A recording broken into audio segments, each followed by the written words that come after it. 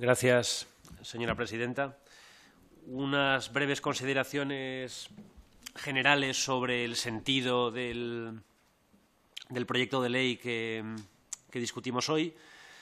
Parece claro que en el continente europeo, a lo largo del siglo XX, el comercio ilegal de obras de arte y de patrimonio ha generado no solamente miles de millones de euros y de muchas otras monedas en el mercado negro, sino que además ha generado notables deterioros y pérdidas a lo largo de, las décadas eh, a causa de los enfrentamientos armados, la contaminación industrial y el mercado negro que han, caracterizado algunos de los conflictos o que han acompañado a algunos de los conflictos eh, de ámbito europeo que conocemos bien. En ese sentido, eh, este proyecto de ley, esta directiva que transponemos, sigue la línea de un buen número de organismos internacionales que después de 1945 se han preocupado por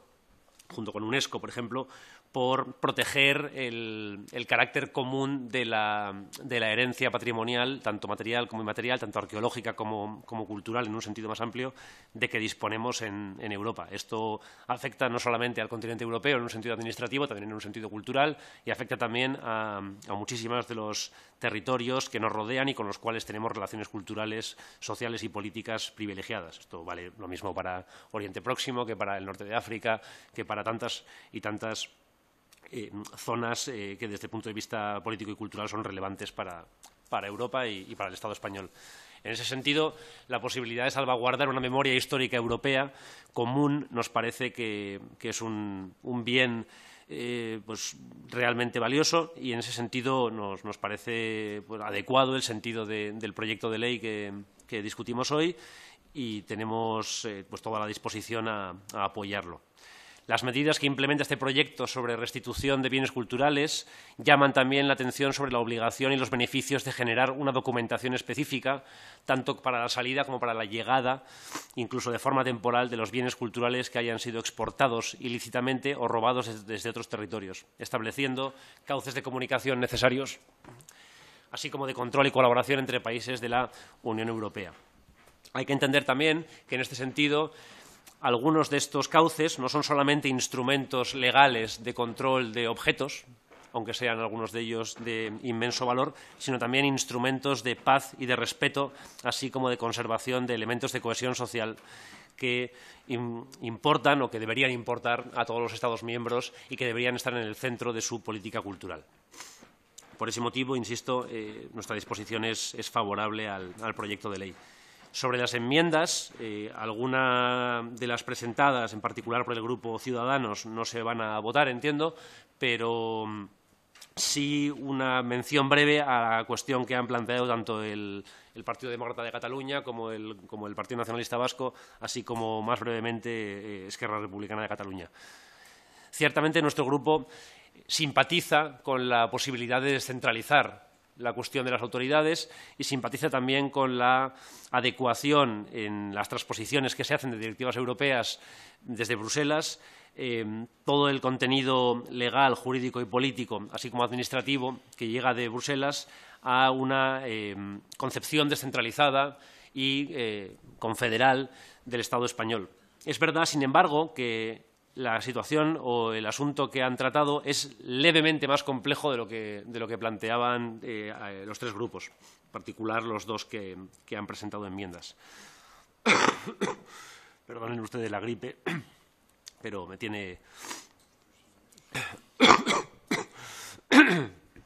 atravesando un pequeño problema. La Ley 16-1985 de 25 de junio de Patrimonio Histórico Español explicita en su artículo segundo que la Administración del Estado protegerá los bienes culturales frente a la exportación ilícita y la expoliación. Y también dice algo interesante, y es que habrá de regular los programas de intercambio de bienes culturales y se encargará también, a través de un Consejo del Patrimonio Histórico, de llevar a cabo todas las medidas oportunas a este respecto y a otros. Este Consejo del Patrimonio Histórico es una autoridad central, pero está constituido por un representante de cada comunidad autónoma. En ese sentido, el artículo 3.3 del proyecto de ley que discutimos hoy señala, como comentaba también el señor Ericha, que a través del Consejo de Patrimonio Histórico Español se facilitará la colaboración de los órganos competentes de las comunidades autónomas con los de la Administración General del Estado. Ciertamente, esto es justo lo que necesitaba.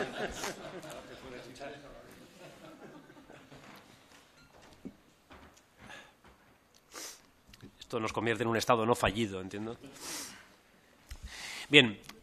ya en otras ocasiones hemos señalado desde mi grupo parlamentario que era necesario redactar una nueva ley de patrimonio, ya que la actual es de 1985 y no se adecua al contexto actual.